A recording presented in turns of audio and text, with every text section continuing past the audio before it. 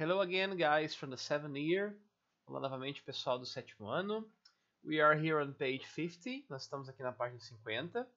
And uh, on the previous video, no vídeo, anterior, I have asked you, eu tinha perguntado, um, what do you know about them and what are they doing? Okay?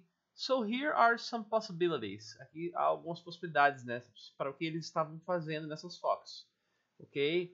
They are fighting for their rights. Estão lutando pelos seus direitos. They are fighting for human rights. Estão lutando pelos direitos humanos. They are fighting for freedom. Estão lutando por liberdade. And the others you may want. E outros que vocês possam querer colocar. Beleza? Lembrando que esse livro, a partir da página da, da unidade 4, completo, já vai valer para o segundo trimestre. Beleza? So let's get going. Vamos continuar então. Now let's go to page 51. Ok, vamos então agora para a página 51. Ok. In which we have here getting started. Getting started means começando, tá?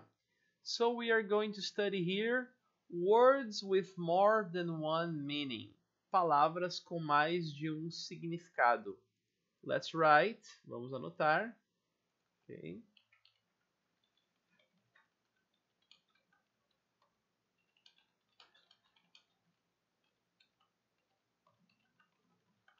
Ok. So I'm going to explain you what to do. Eu vou explicar o que tem que fazer. Ok. And uh, you are going to do, vocês farão. And on the next video, and, e no próximo vídeo, we correct. Nós corrigimos, ok? So number one, número um. Go back to page 50 and focus on the sign in the second photo. Né? Volte para a página 50 e foque né, no sinal da, da segunda foto. Tá? Okay, here on the second photo, okay, we have, nós temos We March for Jobs for All Now. Ok? Nesse caso, tá? a gente está falando palavras que têm mais de um significado. Ok? The word march, a palavra march, tá? Naquela foto ali, inclusive no outro vídeo eu já tinha falado, né? We march for jobs for all now, vamos traduzir. O que, que quer dizer? Qual das definições de march quer dizer ali, tá bom? Vocês vão ver o contexto, caso não entendam, procurem no dicionário, ok? Number two, número 2. Uh, I have already talked to you about the apartheid. Eu já falei sobre o apartheid no vídeo anterior também.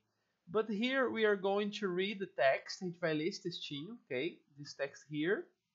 And focus on the words in bold. E vamos focar nas palavras em negrito, ok? Then mark the correct definition. Depois a gente vai marcar a definição correta. O que é skin, o que é time, o que é race. Beleza? Esse aqui vocês vão uh, ler e traduzir, ok? So, traduzir no caderno, ok? Faz parte do já do tema inicial do, do segundo trimestre, ok? Uh, and then you are going to read here. Vocês vão ler aqui então. The words skin, time and race have more than one meaning. Essas palavras então que você grifou aqui tem mais de um significado. It's important to consider the context. É importante considerar o contexto in which these words are used in order to correctly infer their meaning. Tá? Então é importante a gente entender o contexto em que elas estão inseridas para a gente inferir corretamente o seu significado. Ok?